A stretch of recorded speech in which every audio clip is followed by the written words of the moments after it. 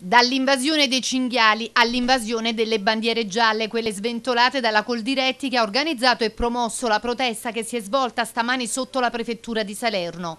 Gli agricoltori e i sindaci dei comuni interessati dall'invasione devastante di cinghiali hanno aderito al flash mob città e campagna per dire basta ai danni, basta ai campi devastati, basta agli incidenti. Perché il cinghiale è un animale carnivoro e onnivoro, quindi noi abbiamo anche paura di andare di notte nei campi perché l'irrigazione la facciamo di notte, se troviamo una madre con i figli, quelli si attacca e ci sbrana. Quali problemi provocano? Quali problemi? Fanno molto danno all'agricoltura. Tanti problemi con i cinghiali? Molti, negli ultimi dieci anni sono diventate una cosa esagerata ma il problema è il numero perché da decine sono passate a centinaia e centinaia. Un problema non solo del Cilento ma che dopo il fermo della caccia legato al lockdown sta interessando tutta la nazione. Cinghiali vengono avvistati quotidianamente anche nella città di Salerno. La mobilitazione straordinaria si è per questo svolta in contemporanea anche in altri capoluoghi di provincia perché la proliferazione sta mettendo a rischio l'economia ma anche la sicurezza come hanno ribadito partecipando alla manifestazione diversi sindaci dei comuni interessati dalla problematica. Eh, purtroppo abbiamo una criticità tremenda con eh, questi, tutti questi cinghiali che abbiamo in zona. Un problema anche di sicurezza, Sindaco? Esatto, sì, spuntano da tutte le parti. E distruggono le agricolture e mettono a rischio la sicurezza dei cittadini. Visto che noi viviamo di agricoltura, purtroppo distruggono tutto. Sindaco, città e campagna uniti oggi contro i cinghiali?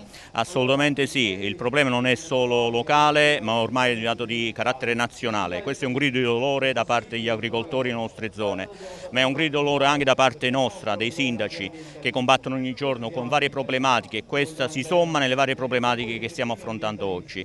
Eh, chiediamo alle istituzioni, alla politica decisioni importanti, decisioni definitive però per quanto riguarda questa emergenza cinghiali. La soluzione sicuramente è quella di allungare comunque il periodo di caccia ai cinghiali. Eh, non so se, se, se questo baste, basterebbe, però si potrebbero interessare, eh, dico una cosa così non tanto a caso ma anche l'esercito. Eh. Stanno devastando i fondi agricoli. Non ci resta che si può fare Sindaco?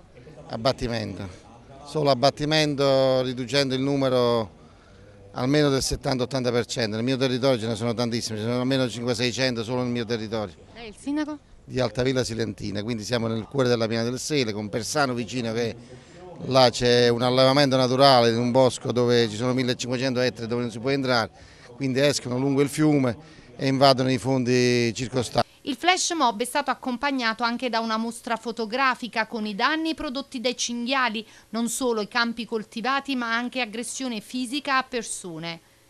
Enzo Tropiano, direttore della Coldiretti Salerno, ha consegnato al prefetto di Salerno una proposta di legge che riguarda anche la possibilità che gli agricoltori possano, se in possesso di porto d'arma, intervenire direttamente nell'abbattimento laddove l'invasione riguardi i propri territori.